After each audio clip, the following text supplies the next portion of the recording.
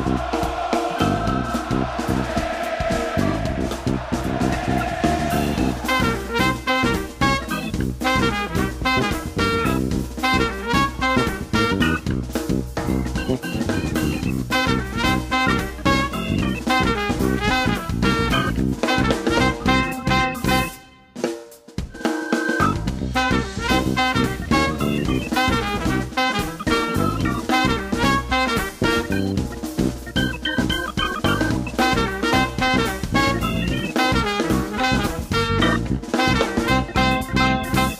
Racing TV, llegamos al estadio. La misión del día es hacer firmar estos guantes de Jorge de Olivera, los mismos guantes que usó en el partido frente a San Martín de San Juan, que se los dio a Pelletieri. Firma de Pelletieri estos guantes. Esto es lo que tenemos que conseguir hoy. Además, en el programa de hoy tenemos una nota con Enriqueta Duarte, primer sudamericana en cruzar el Canal de la Mancha con el escudo de Racing en el pecho.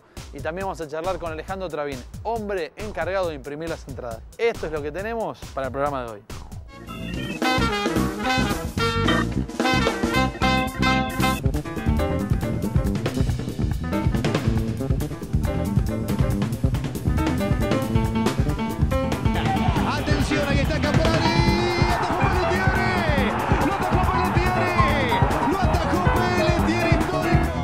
Bueno, Jorge, ¿cómo viste a Agustín atajando el penal y qué le dijiste antes de que vos salgas de la cancha? No, no, decir no, no le dije nada porque bueno, fue una situación donde, donde entre la calentura del partido y, y, bueno, la, la- el- la situación de sacarse para ir rápido de la camiseta no, no dio tiempo a nada, pero bueno, nada. eh, ¿Qué te puedo decir de él? Era- es, es optimismo puro, así que por eso yo creo que, que, que pudo sacar el penal y, y lo hizo muy bien. ¿Viste el penal en el túnel o lo viste ya en el vestuario? No, no, no, lo, lo vi justo ahí adentro en la historia. ¿Dónde viste el penal el otro día que atajó Agustín?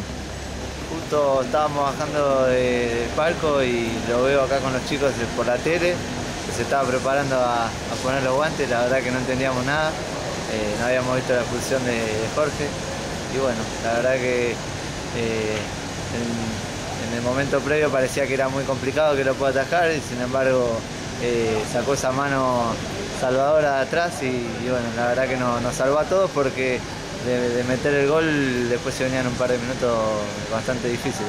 Lo vi en el vestuario porque bajé, del, bajé de la tribuna, como siempre hago, tres minutos antes y me encontré con que se, se estaba poniendo los guantes, así que lo, lo vi adentro del vestuario. Eh, mirá, eh, hay cambios porque el campeonato pasado prácticamente lo veía arriba, Sí. me meto por adentro y, y salgo por el, por el mástil y al costadito de- del palco donde bueno, le puedo fumar, ¿no? Este, al aire libre. Y últimamente lo estoy viendo ahí a pie de campo, atrás del cuarto árbitro donde normalmente está sentada la- los médicos. Y, y bueno, nada, eh, lo, vi, lo vi ahí, la verdad que fueron un montón de cosas que se me cruzaron por la cabeza. ¿Qué? ¿Qué me puedo decir que se te cruzó en el primer instante? Lo Sobre todo cuando estaban expulsando a Jorge. Lo, lo primero, bueno, la expulsión de Jorge y si la, la jugada, no solamente en ese momento, o sea, digo, ¿y ahora qué? Eh, porque bueno, digo, un chico joven, yo una vez no elige los momentos en los que, en los que uno debuta. A veces se te presentan y uno los tiene que asimilar y tomar como viene. Entonces, en ese momento eso. Y después la otra, digo, si convierte, nos quedan, eran tres minutos más el descuento, digo, no, iban a llover centro. Entonces, bueno. era- Técnicamente, ¿qué viste en Agustín? Técnicamente 10 puntos. Eh, yo lo decía, creo que lo más admirable es eh, haberla, haber sacado la pelota con medio guante de más, porque le- la pelota eh, le pega la mano y le sobraba medio guante, así que eso fue lo más meritorio. Aparte después buenos reflejos que se paró y fue a buscar el rebote. No, sí, completo, completo. Lo hizo, lo hizo, creo que, como te decía, técnicamente 10 puntos, porque dio el rebote hacia afuera y se levantó rápido y pudo agarrar también el rebote. ¿Cuál fue la primera sensación que tuviste cuando se estaba cambiando y poniéndose el buzo Que no arquero? tenía chance de atajar. Fue lo primero que dije como para, eh, para que eso haga de que el jugador de San Juan lo tenga alguna chance de errarlo. Pero la primera sensación fue esa, no tiene ningún tipo de chance de atajar. Y después cuando lo atajó, ¿cómo lo viste técnicamente vos como arquero? Impresionante. Yo le dije, hacía mucho tiempo que no le veía a un arquero hacer esa tajada, así que bueno, el hecho de que sea ju- jugador, el mérito es más grande. Eh, porque no, no, no fue solamente que el jugador erró el penal, sino que Agustín lo atajó. Y aparte después, fuerza de piernas para agarrar el rebote. Terrible. Yo lo único que pensé es que no vuelva a hacer penal en el rebote, pero no, la verdad que eh, creo que hizo lo que cualquier arquero profesional soñaría, atajar un penal y quedarse con el rebote, bueno, lo hizo él siendo jugador. Y cuando Agustín ya se estaba poniendo el buzo, los guantes, No, ¿ay, ¿qué se te pasa- pasó por la hay- cabeza? Hay una historia detrás que, que más o menos la contó Luis y yo, a mí me tocó vivirla seis meses porque yo durante todo el 2011 estuve trabajando en Lanús. Sí. Entonces nosotros teníamos un sector 8 que donde entrenaba con los arqueros, salvo que cuando primera división usaba ese sector, es como una cancha de fútbol 8, mucho más chica, Sí. para jugar los picados. Entonces nosotros con los arqueros inferiores nos corríamos un poco para que ellos pudieran jugar y ahí lo veíamos a Peletir atajar. Y ataja, no ataja mal. Ataja bien. porque o sea, le, le metían cada voleo, cada bomba, o sea, no tiene técnica, pero no, no le escapa, no se esconde, agarra bien la pelota, no, tiene noción. Quería hablar de eso. Vos como entrenador de arqueros, ¿cómo fue la técnica de Agustín el otro día atajando el penal? No, excelente, excelente, más, lo primero que me dijo el chino cuando entré al vestuario, dentro de la alegría que teníamos por todo, ¿no? Por ganar, por, por esto del penal que creo que terminó de, potenciar un poco más, los tres goles de Vieto. Me decía, no sabés la pelota que atajó, me dice, increíble cómo fue abajo, o sea, el gesto técnico es espectacular. Eh, pero después, bueno, eh, en el día a día seguramente se le notarían defectos como si yo me pongo a jugar de volante central, lo mismo. Cuando volvió al vestuario, ¿qué le dijiste? Imagino algunas cargadas, mucha sonrisa, un festejo No, le íntimo. dije que no, se, no, no tenía idea de la tajada que había hecho, porque más allá de lo del penal, tiene mucho mérito porque fue para ese lado y tuvo que ver la pelota y ponerle la mano, así que lo primero que le dije fue eso, que no tenía, no tenía idea de la pelota que había atajado. Y como dijo Agustín, el pensamiento positivo fue clave en él para atajar ese Sí, penal. bueno, eso es una de, la- de las cualidades que debe tener un muy buen arquero, ser siempre positivo y creer eh, siempre de que uno tiene chances. Y decime, porque no solo fue la tajada, tuvo el rebote después. Fuerza de ¿Qué, qué tiene que tener ahí un arquero para salir a buscar el rebote? No, y ahí bien, ahí bien, porque normalmente una de las cosas que se trabaja últimamente con los arqueros es tratar de no hacer pasaje de pierna. Son conceptos y modos de trabajar, no digo que sea la, la única verdad. Sí. Es, yo en mi época más chico era caía y giraba las piernas y ya como para- automáticamente para, para el otro lado. Y vos en un partido no tenés una pelota para un lado y para el otro. Entonces uno tiene que trabajar la parada lateral. O sea, como caigo me levanto. Y Agustín cayó lateral, se recuperó medio y como un gato otra vez fue abajo. O sea que fue, desde el punto de vista técnico, excelente. Ayer me decía Sebastián esto, que no muchos arqueros profesionales Van a tienen este rebote. gesto técnico que tuvo, que tuvo él. Es algo innato que por ahí que tiene. Sí, hay cosas que uno las tiene, tiene que ver más con, con la personalidad y con el jugador de fútbol, no específicamente con, con el arquero. Cuando llegó al vestuario, ¿qué le dijiste? Nada, le decía que. Le digo, bueno, bien, Agu, por suerte eh, no, no le pegó muy fuerte y llegaste. Me dice, no, yo la vi fu- fuertísima, me dice, estaba sorprendido cuando, cuando yo la había hecho. Y yo le decía que bueno, viste, que, que eran cosas que por ahí en el arco uno, eh, cuando está de ese lado, eh, hay cosas que, que se ven distintas. Así que en ese sentido lo pudo vivir por carne propia y bueno, por suerte lo hizo muy bien. Se llevó a recuerdo tu camiseta y los guantes.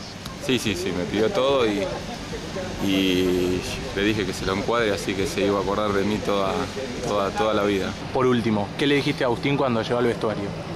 No, hablamos poco. Lo primero que se le cruzó por la cabeza porque eh, eh, tenemos muy buena relación y si bien yo entré a trabajar medianamente por, una recomendación de Leonosio que está trabajando en Lanús, eh, una, uno de, los cruces que tuvimos cuando nos enfrentamos en el túnel, le dice, Leo le dice a Pelletieri, le dice, mira que no me olvido todavía el gol que te hiciste en aquel picado, qué sé yo. Lo primero que me dijo hay que llamarlo a Leo para contarle, qué sé yo.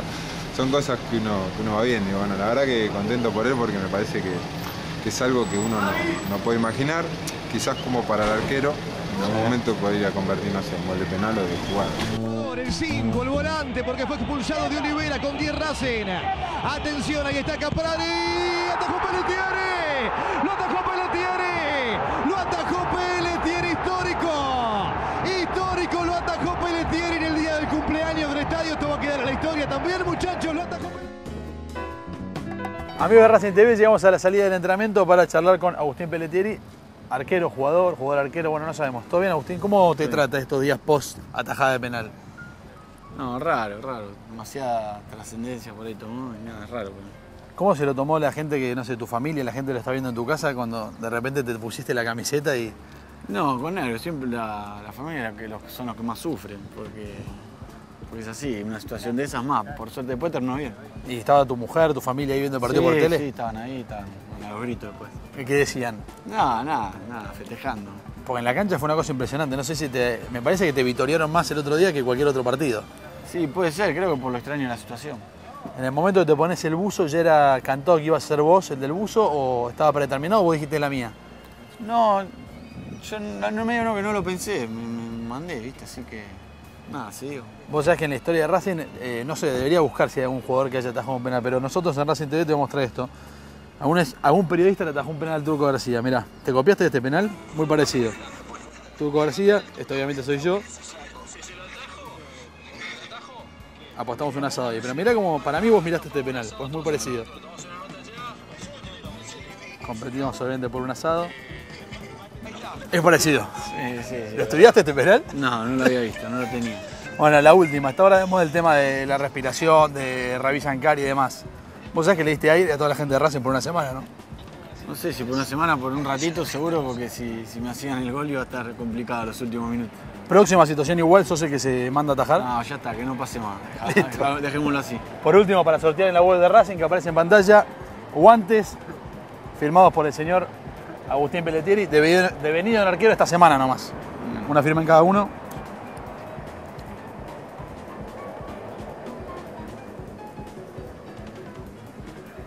¿Estos son los que usó el otro día, Tommy? Sí. Ah, bueno. Mirá, Pelé. mostrar que son los de vida. Son los de Olivera, eh, que se los dio en el momento. Te quedaban grandes estos. Sí, gigante. Pelé, muchas gracias. Hasta. Felicitaciones. Saludos para Racing TV.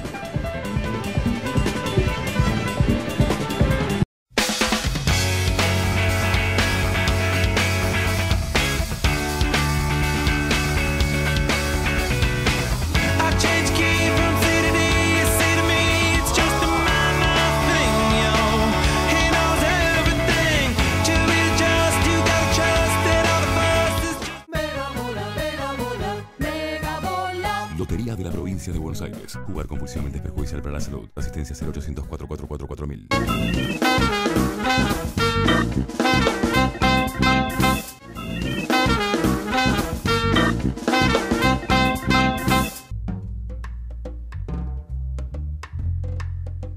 Bien, en Racing TV hoy tenemos una nota de leyenda. Alguien que entrenaba en nuestro club, en la sede central, con algunas modificaciones seguro, y fue la primera argentina en cruzar el Canal de la Mancha en 1951. Estoy hablando nada más ni nada menos que de Enriqueta Duarte. Bienvenida a Racing TV, Enriqueta. Muchas gracias. La presentación estuvo bien, la primera argentina. Hoy una cosa, sí, y latinoamericana. Y latinoamericana, que ya me había dicho también. Bueno, Bueno. te digo una cosa, yo le decía a Pablo que siempre se vuelve el primer amor. ¿Por qué eh, participaba para Racing? ¿Por qué representaba a Racing? Porque a mí me mandó al Canal de la Mancha Eva Duarte de Perón. Ah. Y entonces Perón, Eva y Cereijo eran de Racing, Claro. que es la época de Sacol.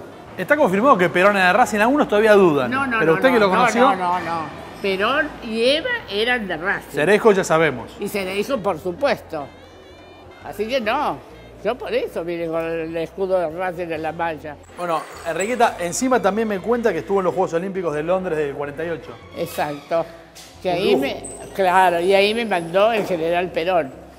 Porque el que manejaba el, grupo olímpico era un general Rossi, un peticito así pelado, y que no nos quería mandar a la posta, que éramos tres mujeres las que faltábamos, que era Liliana González, Adriana Camelli y yo. Nos habían exigido 1.12 a cada una para llegar a 4.48, que era la posta 4 por 100. Una ya estaba elegida. Te digo, era increíble, porque fuimos seis las nadadoras argentinas, pero tres eran anglo-argentinas. Entonces está arreglado que cuando Perón nos despide a todos los olímpicos, nosotros todavía no éramos olímpicas, nosotras tres, pero estaba arreglado y yo llevo una carta a Perón explicándole todo y que habíamos cumplido el tiempo pedido. Pero Rossi nos quería anular. Y entonces Perón divino, con sonrisa, carismático. de esa carta, ¿no? No, no, no, no, no la tengo, no. Entonces Perón, encantador, me deja hablar y escuchar y qué sé yo, y atrás estaba parado Cereijo. Entonces Perón se da vuelta y le dice, ¿hay plata? Le dice, sí, general, las chicas van, las chicas van a la posta. Qué linda historia. Bueno, vamos a ver, en este lugar de Racing, eh, bueno, están los máximos logros de la historia, ¿no? Bueno, hay copas, hay banderines. Y hay un banderín que nos llamó mucho la atención y por eso tomamos contacto con, con Enriqueta, que es el siguiente. Claro, claro, ese lo mandó a hacer mi papá. Está impoluto, por supuesto. Qué maravilla. Voy a ver si lo puedo sacar sin... No, no lo saques. Si no lo precisas sacar, no lo saques. pero así Sí, usted se lo ve ve. perfecto. Así se usted lo ve. Gris Nez, porque nosotros salimos de Francia y llegamos a Dover. 16 de agosto de 1951, Enriqueta Duarte, no sé qué más dice. ¿Qué más dice ahí después de Enriqueta Duarte? Enriqueta Duarte cruzó en 13 horas 26 minutos. Ah. Claro, claro. Récord latinoamericano. Está perfecto. per- Bueno, ¿y qué sensaciones viendo esto? Porque esto está, Ah, esto está en Racing. Racing eh, le albergó con sus colores a través de, de- de Perón, como usted decía, pero hay un recuerdo importante en una vitrina que está llena de trofeos. Está Enriqueta Duarte. Ahora, te digo una cosa. A mí en un momento dado, la comisión directiva me recibió. No sé si fue ese día el que me dio una medalla de oro de Racing. Y, y yo hablé con la comisión que estaba toda sentada alrededor de una mesa grande. Y yo estaba parada y dije, no puede ser que Racing se ocupe nada más que de fútbol. Se tienen que ocupar de otros deportes y de la natación. No pasa ¿Eso nada. en qué año habrá sido, más o menos? Y 51. ¿Qué recuerda de esa vez que vino a entrenar acá la pileta del club? Co- ¿Qué- No, no me acuerdo. Sé que subí unos escalones para llegar a la pileta arriba y vinieron mi papá y mi mamá conmigo y yo vine a hacer un entrenamiento acá, prolongadísimo, para que los socios pudieran venir a cualquier hora y verme a mí nadando. Yo no sé si nadé 10 o 12 horas, sin parar.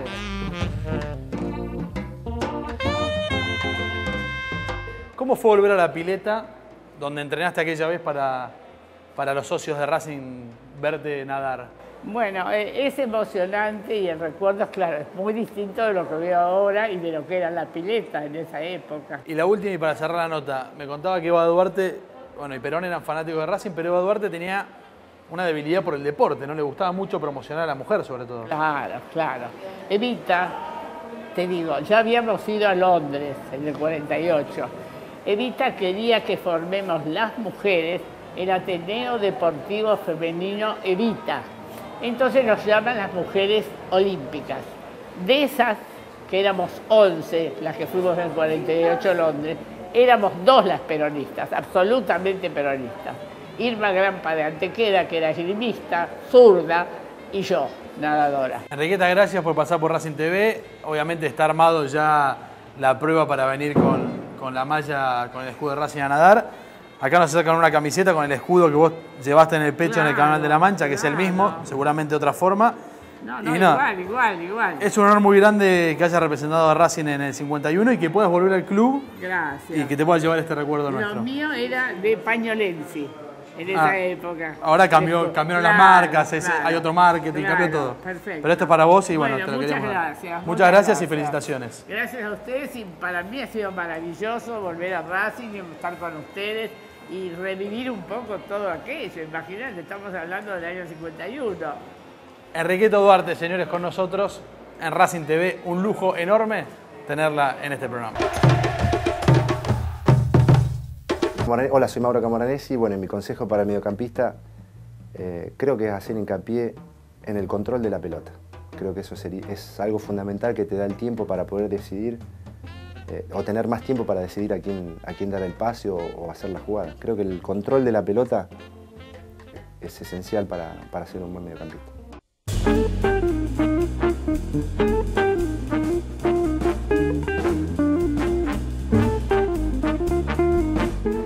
Racing TV, un lugar que para muchos hinchas es aspiracional. Tener todas las entradas, un lugar donde uno puede elegir a qué parte de la cancha ir. Por supuesto, el hincha del socio no puede elegirlo, pero el que imprime todo esto y que está encargado de ubicar a cada uno en su asiento es el señor Alejandro Travín. Contanos un poco cómo es esta oficina y cómo son tus herramientas de laburo. Bueno, tengo las impresoras y tengo un sistema que me permite seleccionar cada sector eh, y se imprime las cantidades que me, que me va indicando el jefe de recaudación. Nada, después la, parte de los protocolos, que es lo único que va con numeración, se selecciona desde el sistema los asientos correspondientes, eh, se reserva y se, se imprimen las entradas, que es lo que voy a hacer en este momento. Acá, por ejemplo, tenemos una del partido Racing San Martín de San Juan.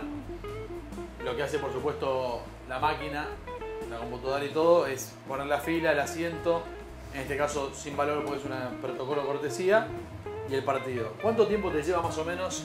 ¿O cuánto tarda la máquina en imprimir? ¿Cómo es la relación de tiempo y entradas? Mira, cada 100 entradas tenés 8 minutos aproximadamente. Calculando que se imprimen entre 20 y 25 mil tickets por partido. Bueno, depende de la cantidad de impresoras. En este momento yo tengo tres impresoras, así que estamos bien con eso.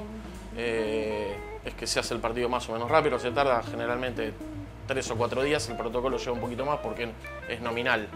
Con lo cual, a ¿Qué cada. significa que sea nominal? Que sea nominal es- significa que a cada entrada se le pone el número de el, perdón, el nombre del sponsor. Ah, o sea, en el caso de Banco hipotecario. Banco Hipotecario, Olímpicos y demás, se le pone el, el nombre del sponsor y bueno, eso lleva un poquito más de tiempo porque hay que hacerlo eh, sector por sector y sponsor por sponsor. ¿Cómo viene esto? La caja, mostramos una caja sin de, de tickets. ¿Estos están vacíos? Sí. ¿Te puedo dar uno? Vienen La- estas cajas. La- por ejemplo, todas entradas sin imprimir, ¿no? Claro, acá lo importante es, eh, en realidad, está del lado opuesto a lo que la gente entiende por entrada, porque lo importante es la banda magnética. ¿sí? En caso de que la banda magnética esté fallada por, porque está mal o porque está cortada, la entrada sale así. Esta entrada no ingresa a los molinetes, no tiene forma de ingresar a los molinetes. ¿Sí? O sea, si a mí, en el caso, yo tengo que recontar después de hacer los pedidos y demás, se me pasaron una entrada así, no se podría ni vender, ni nadie podría utilizarla para ingresar al estadio porque no, no le va a permitir el molinete. ¿Qué pasa, Ale, si se pierde o sale mal impresa una entrada? Nada, tengo la, yo tengo todo en el sistema y además me hago un backup mío, digamos, con los números de lotes y demás, con lo cual si hay un lote que se extravía, se pierde, se roba o se pierde una entrada, eh, yo sé cuál entrada sería la que se pierde, si tengo es- esa novedad, si no se anula el lote entero. Al anularlo significa que Al la pone anularlo- molinete y no puede pasar. Exactamente. O sea, no hay posibilidad que te la afanen porque vos la denuncias. No, no, no, yo directamente la doy de baja en el sistema. La última para cerrar, ¿cómo está compuesto el, el grupo de trabajo? ¿Quién se encarga, además de vos, de todo lo que es el, eh, las entradas y bueno, los accesos? Y bueno, de los accesos se encarga cada uno de los inspectores y de los controles, eh, que me llaman, como te decía, por radio el día del partido y me consultan a- por determinada cantidad de tickets, así como consultan a socios por si hay algún carnet que está vencido. Eh, esa parte la manejan los inspectores de cada, de cada puerta. Te saco del mundo Racing, vas al cine un fin de semana, Sí. te imprimen la entrada, te pones a ver cómo la imprimen y te das como decir, no quiero ver más entradas. No, no, no, la verdad que no, me gusta mi trabajo. Yo la verdad estoy contento con lo que hago. Eh, hay días en que bueno, uno está más... Con la entrada. Sí, hay días que sí. Ale, muchas gracias. El hombre de las entradas no le quitamos más tiempo. Parte operativa y fundamental para que cada uno de ustedes pueda ingresar al estadio.